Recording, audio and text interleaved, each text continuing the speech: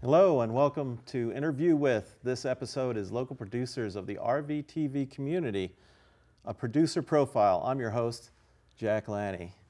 We welcome you to our show where we interview people in our community. Today we are going to talk to a local RVTV independent public access producer and learn about the work he does here at RVTV, the shows he produces and learn what makes him pursue his production work and discuss the relationships between his work here at RVTV and how it affects the local community.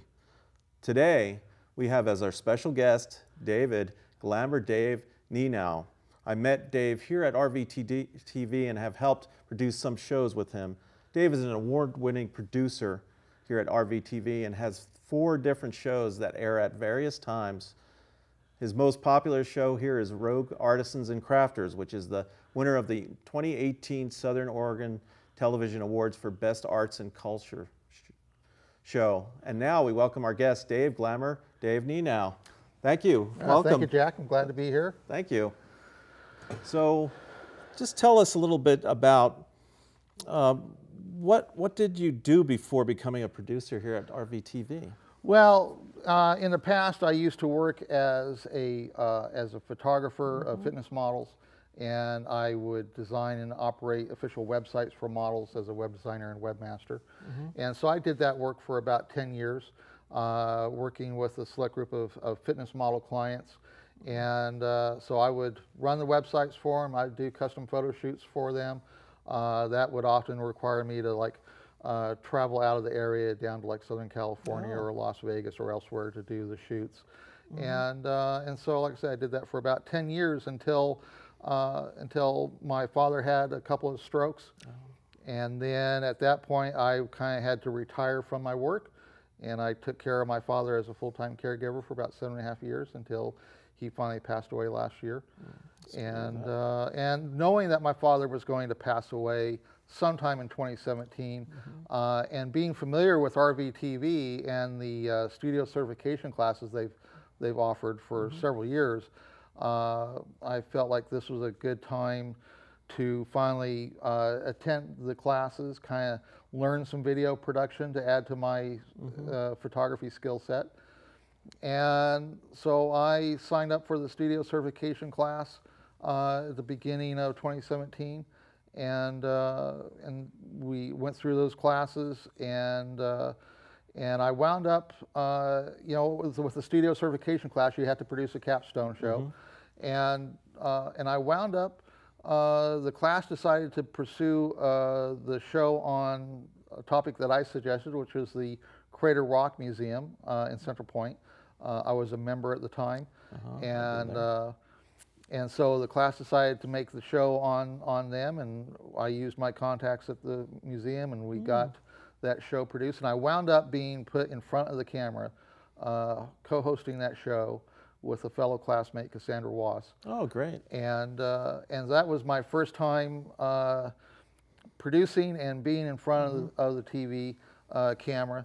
And, uh, and after that was all done, uh, my co-host Cassandra and I talked about taking this that basic idea that we created for the capstone show and and developing it further into a regular series, and that's what we've done. Oh, great!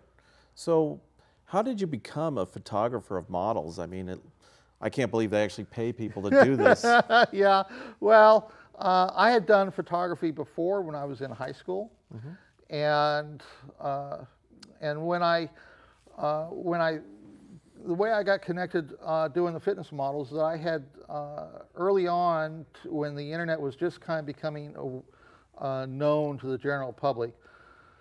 Uh, I decided that I wanted to learn HTML programming to learn how to create my own websites. Mm -hmm. And, uh, and at the time, I was beginning to, to notice uh, fitness models in, in the muscle magazines on newsstands mm -hmm. like Muscle Mag International. And uh, one of those fitness models that had been on a couple of covers of Muscle Mag was Tara Caballero. Mm. And she was a favorite fitness model of mine at the time. I uh, created a fan page around Tara oh. as one of my very first websites that I ever created. And Tara happened to have found my fan page, and she emailed me and uh, was impressed with my uh, site about her and she was preparing to design, uh, get her own first official website created, and asked if I would design her website. Wow. So, uh, so I did. We came to an agreement, and I designed and ran her official website. And then as we worked together, uh, and we, uh, at a certain point, she needed to create new content for her website. Uh, so we had to arrange a new photo shoot. Uh, I arranged for us to all meet in Las Vegas with my best friend who lives down there, who's a professional photographer. And we did our first joint photo shoot together. And I kind of directed that photo shoot. And Tara was impressed with my view of things uh, and uh, asked me to uh, get some camera gear so I could photograph her. Oh. So that's what I did. I, I invested some uh, into some camera gear uh, instead of investing in new computer hardware. And then, like a month or so after that was done, then we got together again in San Diego and we did a photo shoot. And that was our first photo shoot together where I was photographing her. I. And then she was impressed enough with the results of that shoot that she made me her official site photographer, in addition to uh, being her web designer and webmaster. Excellent. And then in the course of time, I also became her manager, and and you know we've we've continued to work together for like the last 20 years. So uh, we've had a long working relationship. Uh, but uh, that's how I basically kind of got started with the fitness models, photographing them because I, having Tara Caballero as uh, my uh, first client, and at the time she was really big in the fitness industry and like the equivalent of like you know Tara, uh, she was kind of like the Cindy Crawford of fitness at the time. So it made it easy for me to uh, to make contact with the other leading fitness models in the industry. There was your end. That was my end. Yeah. So yeah. So, so how long did you work as a professional photographer? Well, I did that for about 10 years until, uh, until like I say, until my father had his strokes and Mm-hmm. he needed a full-time caregiver, and and uh, so I kind of had to retire uh, to focus on my father. So you know, I did that, yeah. And uh, so now, you know, now it's kind of I've kind of transitioned into doing the TV production work, Mm-hmm. uh, but I still try to get a photo shoot in once in a while. Well, great. So, and we have some uh, images of my uh, Yeah. work that can be brought up. Yeah. Let's uh, let's look at some of your examples of your photography. You roll it? So that's Tara Caballero. She's my very first model client. That was shot down in San Diego, and uh, that's an im- that is an image that I uh, title "Invitation." Uh, yeah, I think I would. Uh, yeah, I would take that invitation. so, uh, oh my. and that is uh, Devon Jones. She is a Canadian fitness model. That's the title. Uh, I titled that image "Measurements." That was shot in a studio down in Las Vegas. No comment. and that's that is Leanna Ross. She's a fitness model uh, that uh, primarily lives in uh, in Las Vegas. So uh, I've done shoots with her, and that's uh, Sherry Gideons. Uh, I call that Desert Traveler. That's shot in one of the lake beds just outside of Las Vegas.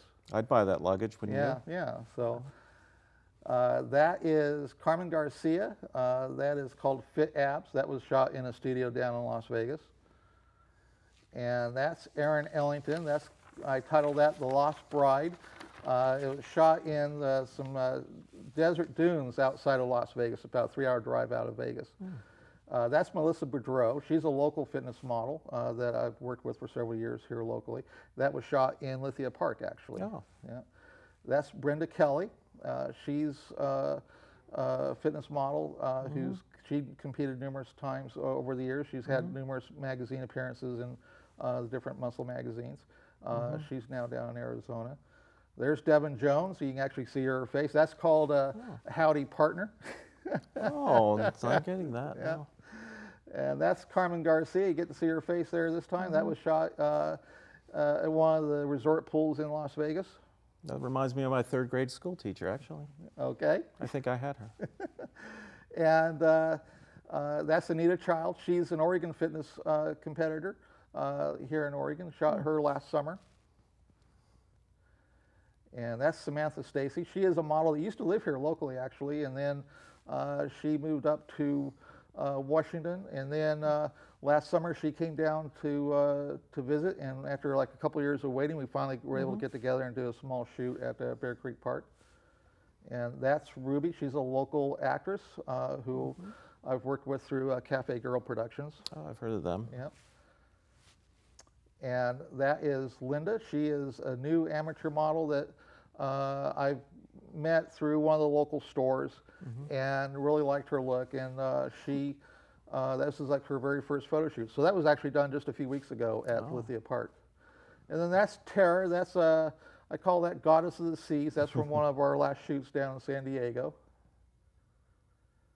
And then this is a sequence of, of images of Tara that were shot here locally at Applegate uh, Lake uh, when she was here a few years ago. So the first, last image was that she was a priestess. This is an image that's a part of a fantasy story sequence, and she's a warrior here. Warrior, yes. And that's her warrior portrait. And uh, that was shot at uh, the uh, Medford Railroad Park. Oh, Yeah, I have to go there. yeah. Uh, you won't find her there, but Oh. you know. What's the point? What's the point? she was just there the one time. Oh, uh, that's great. Those are beautiful pictures of beautiful subjects. Yeah, it makes it uh, it makes the job easy. uh, Yeah, you that know, would be as a- far as uh, Like I said, I, I would probably do that for free.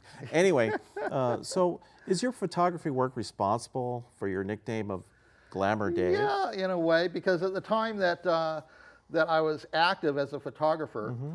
Uh, I was also basically I spent my life either I was working with my model clients and Mm-hmm. photographing them, or I was playing pool, and so that was my life: photographing women, playing pool, and That's terrible. and uh, terrible. well, it's good work when you can get it, you It know. sounds like it. Uh, but uh, you know, as a result of my pool playing uh, and being a fairly strong player here locally, uh, you know, yeah, I just kind of got tagged the nickname Glamour Dave, and so that's how that came about. And it works well for my career work, so it's a good name. You're definitely pulling this off, and it's all going together well. I'm here well, to tell you you, know, Dave. once I decided that I had to, that I was going to be doing TV work Mm-hmm. and getting in front of the camera, uh, you know, it was uh, a matter of just kind of, uh, kind of maximizing out that glamour Dave persona. Hmm. So yeah, Seems like it's a lot of fun. it is. so, so what made you want to become a producer here at RVTV?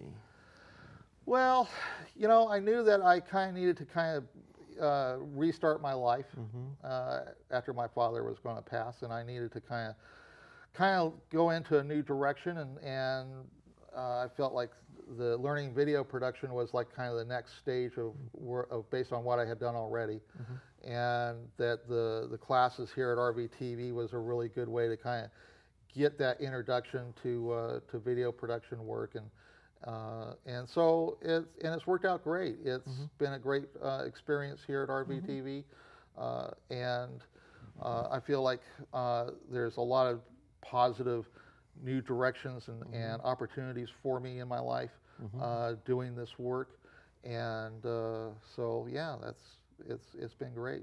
Great. Um, what shows do you currently produce here at RVTV? Well, I ask. yeah, I currently have four series here Four. at the studio. So the very first one that we started with was uh, Gems of the Rogue Valley, Mm-hmm. and uh, and I produced that show with my co-host Cassandra Wass, and Cassandra and I like to give uh, focus exposure to uh, local. Uh, businesses and organizations and groups and people doing positive things here in the Rogue Valley. And then, uh, in addition to that, I have Rogue Artisans and Crafters, and that's a show where I interview local artists and craftspeople here in Southern Oregon. And I've done uh, 30 episodes of that show Wow, 30. uh, since I started that. And then I have the uh, the so not so late night Glamour Dave show, which is my take of a late night classic comedy talk show. And so I've taken a lifetime of watching Carson and Letterman and Craig All the Ferguson. greats. Yeah, and uh, and I've uh, taken a lot of my favorite comic routines that they've done from those shows, and I've ripped them off and cheapened them down to the public access level for uh, for an occasional Friday live show that I do here at the studio. So started that this summer. I've gotten four episodes produced so far, and uh, and I've got a couple more uh, dates uh, next month to do, and I'll just you know occasionally we'll get uh, the occasional date each quarter and produce new episodes. And I've got some uh, more ideas for some comic uh, routines that are cheap ripoffs of, of Letterman and, and Ferguson that I'm going to develop uh, for for the next set of shows. So it'll be funny. Sounds like you're busy. In fact, uh, I'm going to take this opportunity to let's take a look at a video clip of the shows that you produce and host at this yeah, time, that's if you right. would. Yeah, yeah. Okay, roll it, please. So our special gem today, we are talking about the local women's derby, which is called the Southern Oregon Derby. Right, and we happen to have as our special guest for the Derby, we happen to have uh, Melinda Favreau, aka Mountain Mel, That's right. and Sonia Herbold, aka Calamity, Correct. who are here to talk about the Derby. Yeah. So welcome to the Yes. show. guys. Welcome, girls. Thanks for having us. Today, we will talk to William S. Phillips about his life as an artist and the work that he pursues today with his art. And so we welcome Bill to the show. David, thanks for having me. No, I'm glad. Pleasure. Uh, yeah, it's, it's, a, it's a great thing for me because I've been uh, a fan of your work since uh, seeing it at the Red Baron Lounge when I was about 10 years old. so that means this is take like a long uh, path for the both of us to come together. Easy does it. But uh, it's, uh, I'm honored to have you here and to talk about your work. Absolutely. report that we got on you was that uh, that uh, that you went through some kind of a competition to basically win the right of being Wonder Woman. Yes, Right. yes, Because you are the uh, you are the ambassador of the Amazonian nation of Themyscira. Yes, yeah. We have a lot of competitions. We got archery, we got, you know, weightlifting, but not with like little weights like you Uh-huh, guys yeah. use, like actual like buildings and stuff like that. yeah, right. Yeah, because because your your powers are like really, uh, literally uh, God blessed. Because my Mm-hmm. my report says that your uh, father is uh, Zeus, the Yes. uh, the head of the Greek pantheon of Greek gods. yes, yeah. Uh, clay and Zeus pretty much. He, he brought me to life out of clay, so yeah. Welcome to the small interview with Glamour Dave. I'm your host, David Glamour Dave Nienow, and this happens to be the first episode of this new series. Uh, this happens to be not only the first episode, it's also an emergency show edition because the reason that the show even exists is because I had uh, a guest cancel for uh, Rogue Artisans and Crafters, and I needed to fill the time here at the studio. So the small interview is my backup emergency show production whenever a guest cancels on one of my other shows. And so uh, today, I happen to have two wonderful friends of mine that are going that I'm going to interview. Uh, and so I have Leah Dougal, owner of Cafe Girl Productions, Brittany Rhea, director and uh, music Producer. composer and actress And uh, producer. and producer for Cafe Girl Productions. And so we are just going to have a nice, fun conversation about everything that is going on in the world of Cafe Girl Productions and everything else in the lives of these two lovely, wonderful women uh, that, I, that I consider f- wonderful friends. Uh, and so let's get the interview going. Oh, so we're back. Yeah. Yeah, And so that, that last, uh, uh, the very end of that segment, uh, uh, that clip is uh, showcased my fourth show, Mm-hmm. the small interview with Glamour Dave. And that is what I call my emergency backup show production. so, In the wings. yeah, so it's like anytime that a guest uh, cancels on me at the last minute for one of my other shows, uh, particularly for like Rogue Artisans, if uh, that's happened uh, a couple of times, and and so I still have to like make use, fill my time here. So uh, when that happens, then I just instantly drag uh, someone from my crew and say we're going to have an interview, and it becomes a small interview with Glamour Dave. And so I got one, got the first episode done a couple weeks ago. Uh, I'll do as soon as I do two more episodes, it'll become an official series here at the studio.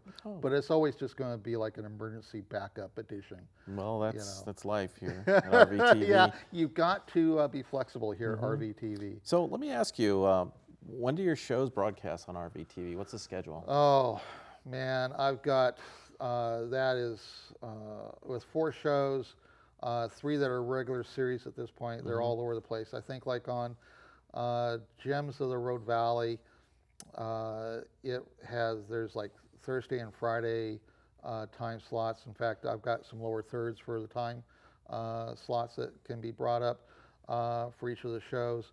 Uh, but I think like 8 p.m. Uh, on Thursday nights and Fridays at 9 p.m. I think for Gems of the Rogue Valley. Rogue Artisans and Crafters, I've got uh, I think Tuesdays at 8:30 and Thursdays at 11:30. Um, and the the the Glamour Dave show that's like a Tuesdays at 2 a.m. So that's that's the Wow. funniest that's the funniest time slot they could get for that show. Yeah, and uh, up for that and then I think uh, uh, Thursdays at 8 p.m. Uh, you know, or like the slots for uh, where those shows are regularly uh, Mm-hmm. broadcast. So yeah, it's it's hard keeping track of them all. With, uh, Yeah, with uh, four of them 'em with out four there. shows out there. So yeah. Okay. So let me ask you, what was your process for creating each of your shows here at RVTV? Could you just Well, elaborate on that? Yeah, well, with gems, that was like I say, that was we started that. Cassandra and I uh, started that after we did the capstone show, which we titled "Gem of the Rogue Valley" since it was all about the the Crater Rock Museum. So uh, we just kind of decided to take the theme of, of featuring local groups uh, and and turn it into a regular series uh, together. And so you know, with gems, we have featured uh, Rogue Retreat for all their homeless support services, and we've uh, we've featured the Schneider Art Museum, Oh, uh, the the Science Works Museum, uh, the Roller Derby uh, women, Oh, yeah. uh, the Oregon Chocolate Festival, the Ashland Film Festival. Uh, we've done like 15 episodes, so uh, it's you know it's all about kind of giving exposure to really wonderful people and, and groups in the valley. With Rogue Artisans, me and a fellow producer Alex McLaughlin here at the studio, we're talking about uh, we kind of were talking one day and we both found that we had similar ideas for kind of focusing on the local art scene. And so him and I together kind of developed uh, the concept for rogue artisans and crafters, and uh, and then yeah, I've just kind of taken that and Mm-hmm. and uh, I go out to the different art galleries uh, here in the valley and meet Okay. with artists and Okay. find them. So let me ask you something. How difficult it is it is it to become a successful producer at RVTV? Well, you know, it takes um, it takes a bit of a commitment of time. You know, this is all volunteer work here at the studio, so all the producers here volunteer their time to produce and create water shows that that they uh, that they feel strongly about. You know, and uh, and I would tell anyone that wants to uh, kind of consider uh, getting involved here at RVTV uh, to you know you sign up for the classes, become a certified producer. Uh, you make the effort to kind of get involved uh, with working on other people's shows to kind of get really comfortable with the production process, and then. Uh, and then follow your heart. That's the next, next piece of advice I'd say. You know, you want to, if you're going to develop a show, uh, you know, find uh, those topics that uh, that are important to you, and uh, and develop your shows around those those topics that uh, that mean something to you. Great. So how does one get a show to be put on TV? Well, at RVTV. Well, once you uh, kind of, once you become a certified producer, uh, you each quarter here at the studio we have a producers meeting, and so you have to come in and and you basically have to bid for a production time slot Uh, uh, for uh, for the following quarter. And uh, once you get a production time slot, or more than one production time slot, depending upon how active you really want to be, uh, then you know you you you just kind of work up in your mind what what is it you want to do your show about. I mean, if it you have, you have to if you're going to have guests, you've got to go out and find the guests. You've got to kind of work hard. out the work out the plans for the interview, how you want to, uh, what questions you're going to need to, to address for whatever the topic is that you're going to be dealing with. Uh, you know, you have to recruit your crew among the fellow producers that are active here uh, at the studio that are all volunteers. So you got to recruit your volunteer producers to come in at the appointed time to uh, assign them their, their uh, particular uh, positions uh, in the crew.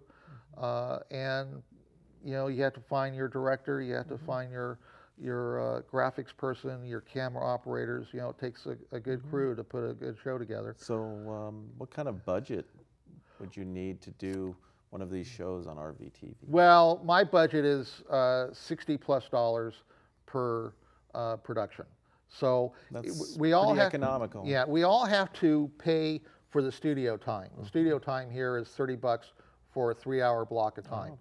Okay, so so then you also need to feed your crew because since no one is being paid to do any of this work, we all pay each other by bringing in food to make sure the crews are fed. So um, at that point, uh, I typically spend another 30 bucks uh, in food uh, for each production that I do.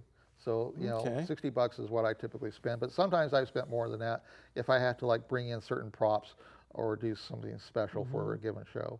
So, I don't know, are any strange things happen during a show production? yeah, well, I've had um, I've had like the uh, the uh, teleprompter uh, script uh, go black on me at the end of a show, and uh, Not good. and so then I've had to kind of rely on my own memory and kind of on the fly do my do my wrap up uh, uh, without my teleprompter script.